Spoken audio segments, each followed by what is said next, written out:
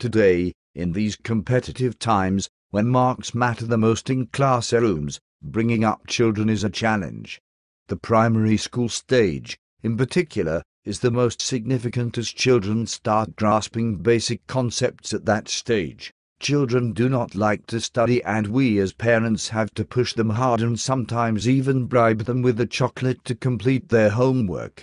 What if we can add a fun element in the most boring of the subjects? What if we can shift their focus from rote learning to conceptual understanding?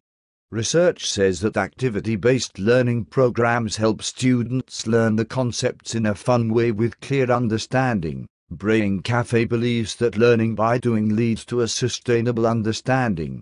Hence, we have come up with learning environments that facilitate activity based learning among children and impart conceptual understanding with various other skill developments in the process. Brain Cafe program has been especially developed keeping in mind the developmental milestones of a child.